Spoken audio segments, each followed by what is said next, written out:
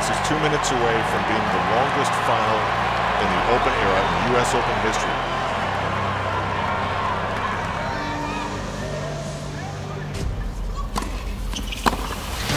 It was long. It's almost as if he didn't want to believe it. There are bagpipes blowing all over Scotland tonight. Ladies and gentlemen,